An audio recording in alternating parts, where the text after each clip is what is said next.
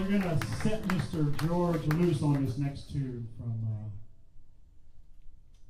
uh, Bobbie Gentry. An old trivia question there. Bobbie Gentry, yes. Thank you, Dick Clark. Yeah, exactly. Oh, to Billy Joe featuring Tim Scott George.